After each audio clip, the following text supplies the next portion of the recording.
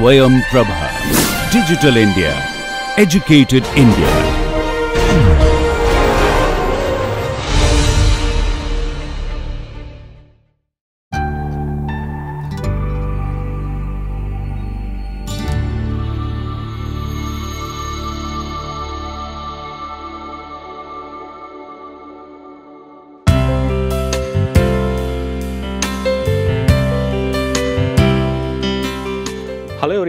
I welcome you all to the 16th lecture of this course.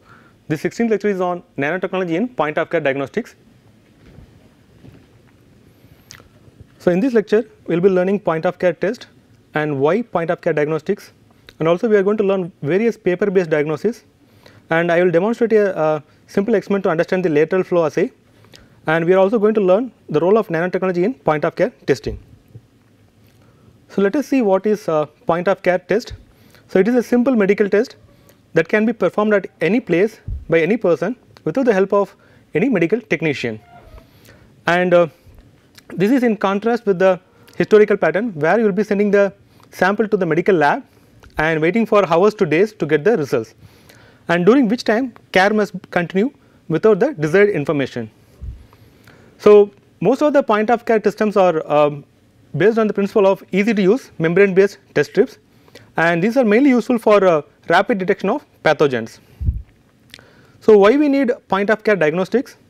So here the main important property is like uh, it gives the results rapidly okay and it will save a lot of time and the next one is patient responsibility and compliance.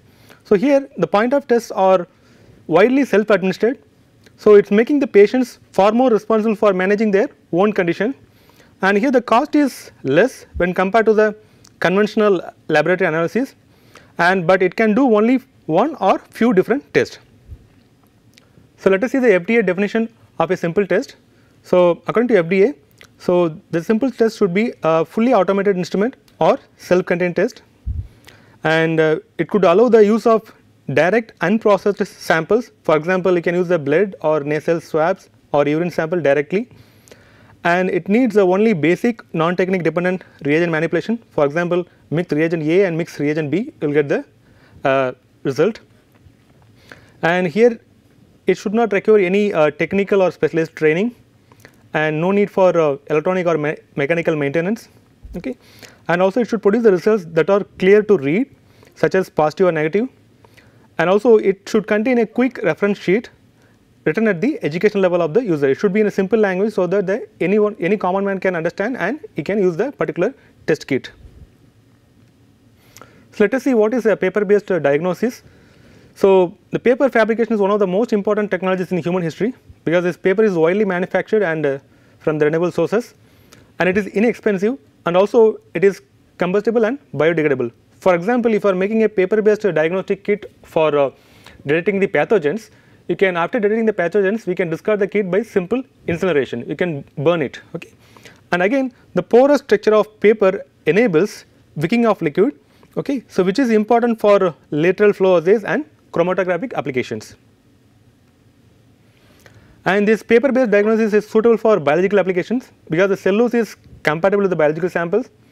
And this paper surface can be easily manipulated through printing coating and impregnation and it can be fabricated in large quantities and another important property is uh, this paper can be easily altered to suit our different application. So let us see the historical perspective. So this first paper based sensor can be considered the invention of paper chromatography by Martin and Synge. So they were awarded with the Nobel Prize in uh, 1952 and another milestone in this field was the commercialization of pregnancy test kit okay. So which can be considered one of the most used point of care diagnosis. So this paper based uh, uh, kits are mainly useful for rapid diagnostics okay. So the majority of these tests are simple and provide a yes or no answer where response time is critical to the user. For example, uh, in case of food safety, so if you want to know whether your food is contaminated with mycotoxins, you add a drop of food sample to the paper based diagnostic kit and it will tell you the presence of or absence of mycotoxins. And uh, in case of uh, conventional technique, you have to take to the take the sample to the lab and we have to wait for a few hours. But in case of paper diagnostic kit, you can get the result within a few seconds. Okay. And similarly, it could be useful for various other applications like environmental monitoring. For example, if you want to check the whether the water is contaminated with the heavy metals or some other microbes. So, it can be useful for uh, monitoring those things with a simple paper based diagnostic kit. So, these are some of the examples of commercial rapid uh, test kits. So, for example, uh, we have the kits for HIV, TB, influenza and malaria. So, these are the various uh, paper based test kits which is commercially available in the market. So, let us see some of the examples of rapid uh, paper based test kit. So, the first paper based diagnostic device was created for urine analysis. Okay. So, these paper based uh, urine analysis device utilize colorimetric assays to measure the glucose and protein concentration in the urine. So, here the uh, the white color of the paper provides a strong contrast, so which enhances the results of the colorimetric assays. So, you can see here this is a simple uh, paper based uh, rapid kit for measuring the glucose or protein concentration in a urine sample and when we add the sample here. So, if you get the color in this side it will indicate the glucose presence of glucose and if you get the color in this side it indicates the presence of protein. So, you can see here so with respect to the concentration the intensity of the color is getting increased okay. So, this is for the glucose and this is for the protein and based on the strip reader we can easily read the intense color intensity and we can estimate the concentration of glucose and BSA in the particular urine sample. So, let us see why we need paper based diagnostics. So, as I told you earlier these are sensitive and specific and user friendly and also it is rapid and robust and it is equipment free. We do not need any uh, sophisticated equipment for uh, uh, using this paper based diagnostic kit. Okay. So, they are mainly read with the naked eye or if a quantitative detection is required the equipment is small or cheap. Okay and it is deliverable to end users and can be developed using inkjet or wax printing or screen printing technology. So, there are three types of uh, paper based diagnostics dipstick assays, lateral flow assays and microfluidic paper analytical devices. So, let us see one by one in detail. The first one is uh, dipstick assays. So, these are the simplest ones because these are uh, based on blotting of the sample onto a paper pre stored with reagents. Some of the examples are pH test strips or urine test strips. So, these are simple to design and easy to manufacture and it is very convenient to use. Okay. So, how they make the pH test strips? So, the pH test strips are manufactured by soaking a piece of filter paper into a mixture of acid and alkali indicators with a certain concentration ratio. So, after it is dried the paper is impregnated with the detection reagents. So, when an unknown sample is dispensed on the paper the detecting reagents react with the analyte okay, and it will develop the color. So, by referring to a standard indicator card the pH value of the solution can be indicated and thus the concentration of H plus is semi quantified. So, you might have used the pH paper in your lab. So, just you put a pH paper in a uh, any unknown solution it will tell you the pH of the particular solution. Okay. So, it is based on the principle of dipstick assay and similarly the another thing is urine test strips. Okay. So, it have been designed to detect the metabolic products in the urine, so which have become basic diagnostic tools to indicate the pathological changes. For example, urinary metabolic products like uh, glucose, protein and salt can from the patients with uh, nephrotic or diabetic disease can be easily detected using a standard urine test strip. So, we can use this kind of urine test strips and we can dip in the uh, urine sample of the patient and we can easily uh, analyze the presence of glucose or protein or the salt. So, next one is the uh, lateral flow assays. Okay. So, this lateral flow assay have all the reagents pre stored in the strip. So, it is also similar to the dipstick, but it will also integrate the flow of the sample. So, here the flow passes through the different zones of the strip which have different reagents for different function. So, usually this uh, lateral flow assay have four different parts. The first one is sample pad, the next one is conjugation pad and third one is detection pad and fourth one is absorbent pad. So, the sample pad is mainly made up of cellulose and it will filter the sample from impurities and it stores the dried as a buffer. And next one is the conjugation pad. So, it is made up of glass fibers and uh, it is used as a dry reagent storage for the labels and in this pad the binding reaction between the labels and the analyte starts. Okay. So, in the detection pad it is made up of uh, nitrocellulose the capture reagents are fixed and the signal is developed in this detection pad. And fourth one is uh, absorbent pad, it is made up of cellulose filters. So, the function of the absorbent pad is to wick the fluid through the membrane. Okay. So, in this way the amount of sample can be increased resulting in an increased sensitivity. And this uh, lateral flow assay is available in two formats sandwich and competitive. So, usually the sandwich format assays are mainly utilized for analyte with multiple antigen epitopes and this uh, competitive format assays are designed to detect an analyte with a single antigen epitope. So, let us see the lateral flow assay in detail. Okay. So, this lateral flow assay contains uh, 4 different pads sample pad, conjugate pad and membrane and wicking pad. So, in the sample pad we will be adding the sample and in the conjugate pad it contains antibodies conjugated to the gold nanoparticles or latex microspheres. And here the sample and antibody everything move in this direction using the capillary force and in the test line you will be having the antibody which is specific for your antigen and in the control line you will be having the anti IgG antibody okay. So, which is specific for your uh, gold nanoparticles conjugated antibody. So, when you add the sample, so the antigen present in the sample will bind with the antibody in the conjugate pad. Okay. So, it will move towards this test line.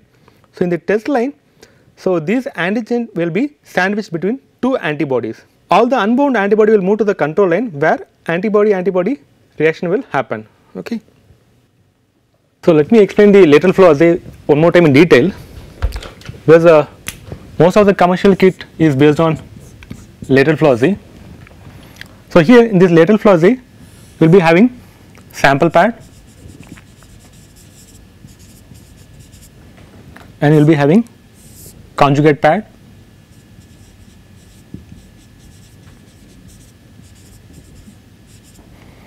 And below that you will be having nitrocellulose membrane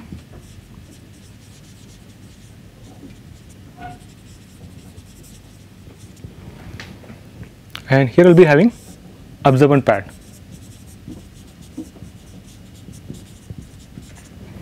And in the nitrocellulose membrane you will be having test line and control line.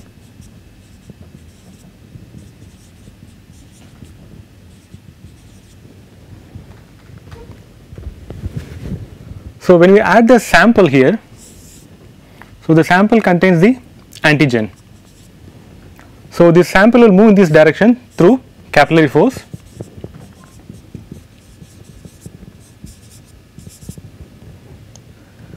And uh, when it reaches the conjugate pad, in the conjugate pad it will be having antibody conjugated with gold nanoparticles.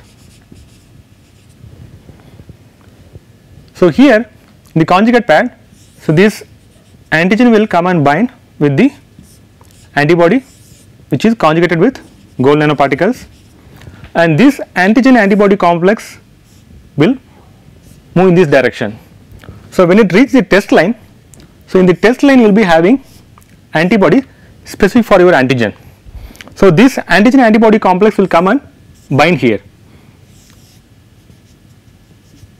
So, your antigen antibody complex will come and bind and your antigen will be sandwiched between the two antibodies. Okay. So, here you will get a color line and this unbound antibody will move to the next line that is your control line. Okay. So, this unbound free antibody conjugate antibody which is having this gold nanoparticles it will move to the control line So, in the control line we will be having anti antibody. So, this antibody is specific for your this antibody conjugated antibody. So, this con so this conjugated antibody will come and bind here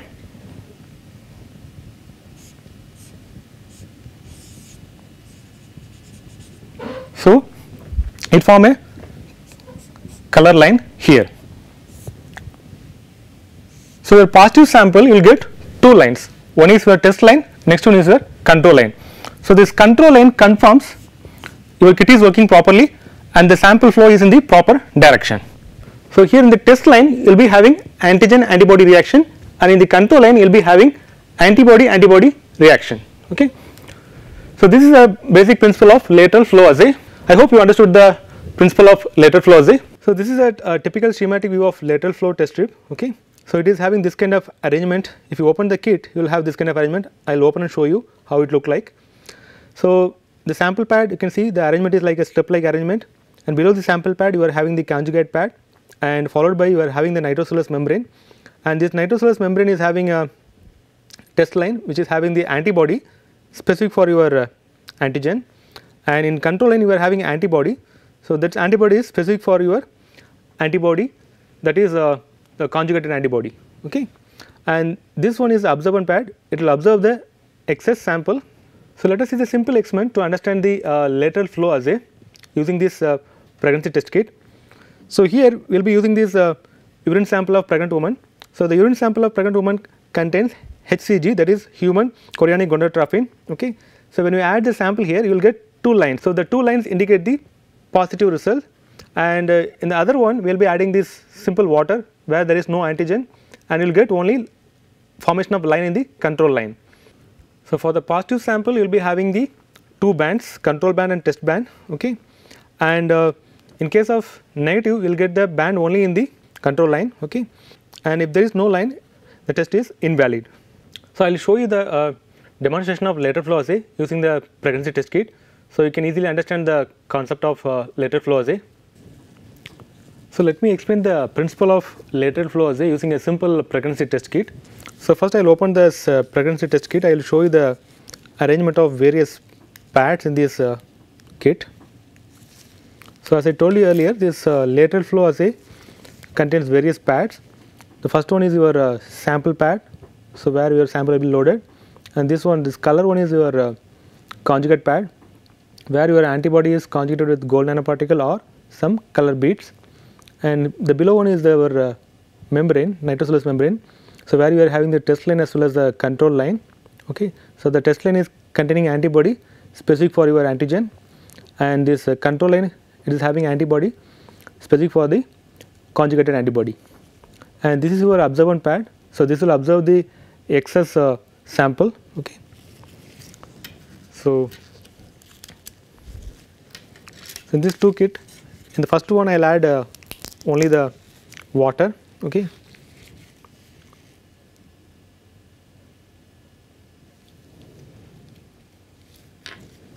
So this is a sample port.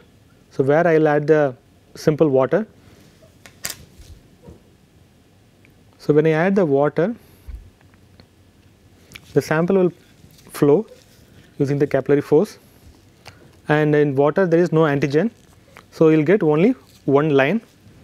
So, you will get line only in the control. You can see here this is a C is the control and T is the test line. So, you will get the line only in the control.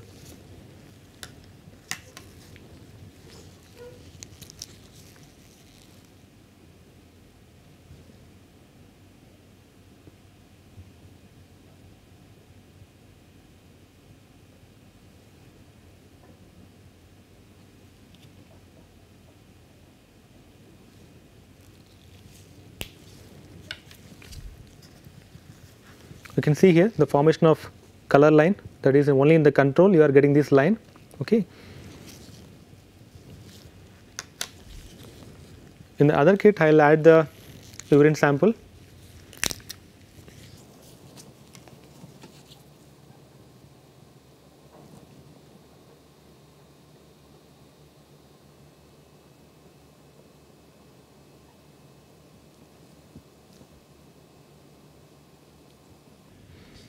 So, in the uh, kit where I added the urine sample you will be able to see two lines. So, one is for test line another one is for control.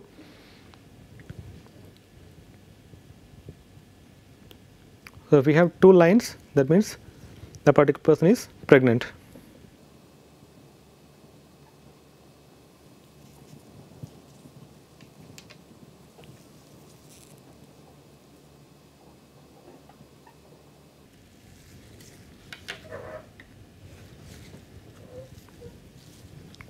So, you can see here you are able to see two lines right. So, one is for the control and one is for the test line. We are able to see the two lines in case of uh, urine sample and in case of water we are able to see only one line. Okay, so we are getting only one line in the control and in case of urine sample you are able to see two lines. So, by the using simple experiment you are able to understand the concept of lateral flow assay. I hope you understood the concept of uh, lateral flow assay. Uh, now we move on to this microfluidic based uh, paper analytical devices. Okay. So, these micropads are made by patterning paper with variety of assay designs. So, it is mainly based on capillary force to drive the aqueous fluid movement. So, we can make the two dimensional or three dimensional micropads and these two dimensional micropads are made by patterning physical or chemical hydrophobic boundaries to form the microchannels on the paper and various approaches like including cutting or uh, wax printing can be used to create the channels and barriers in the paper. And here the reagents required for biochemical reactions can be immobilized on the paper with uh, different patterns. For example, we can make a 4 leaf clover by hand dispensing or inkjet printing technology. And when the reagents are dried, the paper based devices can be used for, for biochemical analysis. So, these 3 dimensional micropads are produced by stacking layers of pattern paper in such a way that channels in adjacent layers of paper connect with each other. And compared to the 2 dimensional micropads, these 3 dimensional micropads have several advantages. So, due to their capability to incorporate complex networks of channels and thus providing multiple functionalities. So, this is a typical example of 2 dimensional micropad. So, this is a channel okay, and uh, this channel can be created using photoresist or wax and this is a test zone. And when you add the sample so it can detect the glucose or the protein in the urine sample or any other sample. And this is a three dimensional micropads okay? So here it is having multiple channels and which could be useful for uh, detecting multiple pathogens. So let us see the comparison of different paper based diagnostic techniques. So each has its own advantages as well as disadvantages. So the dipstick method is easy and fast optimization but the problem is it is a only optical detection. So, there is no quantification. And this LFA it is a versatile and uh, it is a based on the flow lateral flow okay? And uh, here we can also do the electrochemical detection. And the problem is long optimization times and also the long fabrication. And when you use this micro pads so it, it is uh, versatile as well as it is having this uh, different detection methods and the main advantage is the sample volume is here it is less. We can use only 10 microliter of sample. But the drawback is it need long optimization times. And uh, this paper based diagnosis also categorized based on their reaction. It can be categorized into chemical biological and electrochemical. So the most chemical reactions with color change can be achieved on paper such as acid alkali reaction or precipitation reaction and redox reaction. So, which I already explained you uh, with the example of pH test strips. The next one is the biological reaction antigen antibody reaction. So, the example is the home pregnancy test kit where the antigen antibody reactions happens. Okay. So, the same idea could be useful for measuring the tumor markers as well as for diagnosing various infectious diseases. So, the next one is the biological reaction by nucleic acid hybridization that is NAT. So, here this NAT assay requires two types of oligonucleotide probes.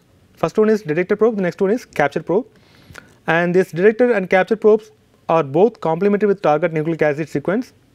And here the detector probe is used to combine with a tag to make the reaction visible or measurable. And here the tag can be colored particles or it can be gold nanoparticles for colorimetric assays and it can be electroactive molecules for example thionine for electrochemical measurements. So, using this NAT assay we can easily identify the genetic as well as infectious diseases. So, let us see what is electrochemical reaction. So, here this electrochemical reaction can be achieved on the basis of both redox reaction and non-redox reactions. So, the redox reactions are involved in electron transfer between the molecules or particles and these non-redox reactions are related with the changes of electrical properties. For example, impedance or resistance will get changed. So, the most successful example of electrochemical detection is the blood glucose meter.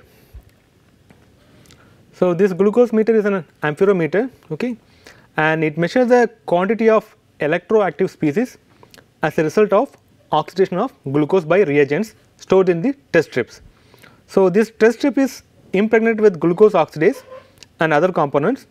So, when you add a drop of blood, the glucose oxidase catalyze the oxidation of glucose and the glucose meter quantifies the electrons generated by the oxidation and correlates them to the level of glucose in the blood.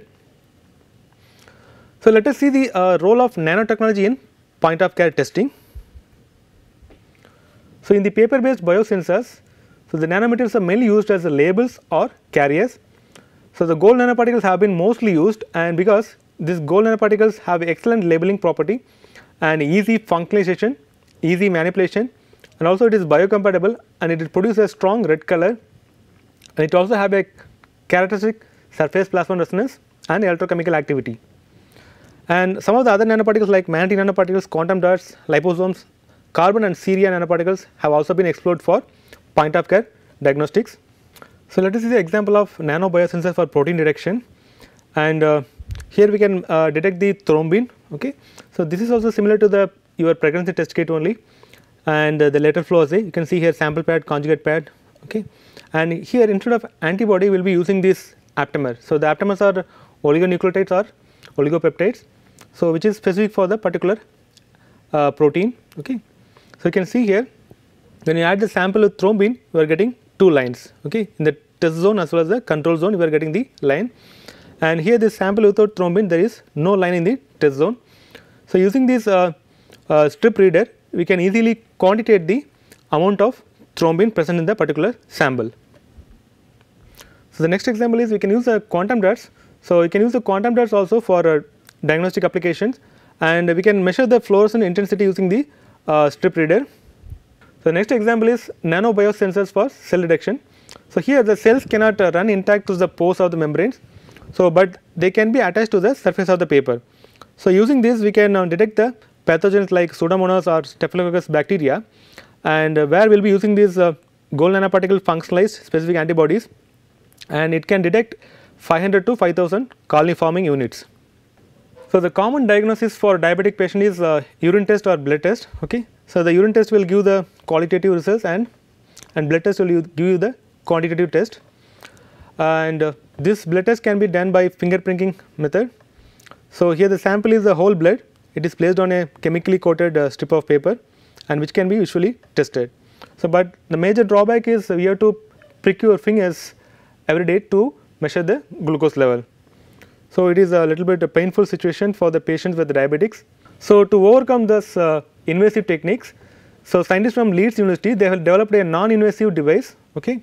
So, that could end your daily fingerprinting for uh, people with uh, diabetes and uh, they have used a engineered nano engineered silica glass with ions that fluoresce in infrared light when a low power laser hits them. And when the glass is in contact with the user's skin, the extent of fluorescent signals varies in relation to the concentration of glucose in their blood. So, here the device measures the length of time the fluorescence lasts for and uses that to calculate the glucose level in a person's bloodstream without the need for a needle and this process takes less than 30 seconds. So, instead of pricking your finger, so it is similar to your biometric device, you just keep your finger on that device and within 30 seconds it will estimate the blood glucose. So, next one is continuous glucose monitoring system. So, this is a tiny sensor, so which can be inserted under the skin and it will send the information about the glucose level through the radio waves from the sensor to a pager like wireless monitor and it will help the patient and doctor and accordingly they can take the insulin. So, how the monitoring system works? So, here a circular patch is placed on the upper arm with a special applicator every 2 weeks okay and this tiny filament pierces the skin and measures the glucose level in the interstitial fluid between the skin cells and uh, the readings are sent to a reader through this NFC wave that is a near field communication waves. Uh, this is the same technology which we use for contactless card payments okay and this data can automatically be sent to up to 20 other phones okay? It can enable the patients to keep an eye on their children when they are at school. So, here the benefits of CGMS is like uh, it, it has increased security for alarms and alerts. And here we are getting the immediate feedback okay? And also the blood glucose trend provides more uh, information than the static readings. And here the sensors can be programmed. If it is a low glucose or high glucose it can make some alarm. So, recently this uh, Google made a smart contact lens okay. So, this uh, contact lens have a sensor okay and this can detect the glucose in the TS. So, this technology uses a small uh, nanoparticles which is embedded into these hydrogel lenses okay and these engineered nanoparticles react with the glucose molecules in the TS and it causes a chemical reaction that changes the color of the lenses. These uh, tiny sensors will send the information about the blood glucose to your mobile phone and also the color of the contact lens also get changed. So, based on the color also we will get an idea. So, what is the sugar level in the blood. The another thing is uh, nano tattoos. So, we can inject the nano ink into the skin and a external device to measure the and translate this fluorescence. So, here this change in fluorescence depends on the blood sugar. So, we can uh, inject this uh, sensor using the minimally invasive technology. Okay. So, once it is injected the tattoos are made okay, and it can measure the uh, sugar level as well as the sodium level in your blood and we can have this uh, portable optical reader. For example, we can use this uh, modified iPhone case okay, which can be used to detect the sodium levels through this uh, nano sensor tattoos. So, next one is uh, we can also use this nanotechnology sensor to detect the type 1 diabetes in the breath. So, acetone is usually found in the healthy person's breath approximately 900 ppb that is the particles per billion okay, but the concentration is double in case of type 1 diabetic patient. So, here we will be using the substrate with gold electrodes coated it with an uh, ultra thin semiconductor film made of nanoparticles and here this tungsten oxide mixed with the silicon is mainly used okay. So, in presence of acetone uh, the electrical resistance of the material drops okay. So, depends on the electrical resistance we can easily detect the diabetes in the breath of the particular person. So, based on this uh, electrical resistance based breath sensor we can easily identify the person with the type 1 diabetes. And uh, we can also use this uh, lateral flow strip chip to diagnose the malaria. So, usually the microscopy has been the considered as the gold standard for diagnosing malaria, but for using the microscope uh, we need a lab setting as well as a well trained researchers. So, to overcome this drawback we can use this nano or microfluidic technologies. So, here we will be using this antibody which is specific for the malarial parasite and uh, here we will be using this uh, blood sample okay. So, if there is a two lines that means he is positive for the malaria. So, let us see how we can use this uh, magnetic nanoparticles for detecting the TB that is the tuberculosis bacteria and this usually the magnetic nanoparticles are dispersed and in presence of uh, TB this will form like a cluster. So, due to these clusters there is a change in the NMR signals. So, this is a microfluidic uh, uh, NMR biosensor so which could be useful for detecting the change in the NMR signals. So, let us see how we can use this technology in diagnosis. So, we can use a simple uh, phone camera and that can send the result of the assay to a laboratory. So, where a specialized person can analyze it and send back the result. And this type of technology can tremendously enhance the healthcare in extreme places like the developing world and battlefields. So, where not always the possible intervention of specialized people or the use of expensive measuring instruments. So, here we can use the normal camera as an imaging device. So, that will digitize the result and transmit them to an expert and an expert will interpret the results and uh, replace with the treatment. Let us see the advantages of uh, nano or microfluidic technologies. So, here these nano or microfluidic technologies have been successfully integrated with the current POC devices for on chip diagnosis and also for monitoring various infectious diseases at resource limited settings. And these uh, POC diagnostics have significant advantages over uh, conventional diagnostics such as reducing the cost as well as increasing their portability and disposability. And again future trends in diagnostic focus on extending the availability to decentralized hospitals and also to the rural areas more effectively where wireless networks are available. So, as a summary of this lecture, in this lecture we have learned what is point of care test and uh, various paper based diagnosis and also we have seen the demonstration of uh, lateral flow assay using a simple pregnancy test kit and we have also learned various roles of nanotechnology in this point of care testing. Okay. So, I will end my lecture here. I thank you all for listening to the lecture. I will see you all in another interesting lecture.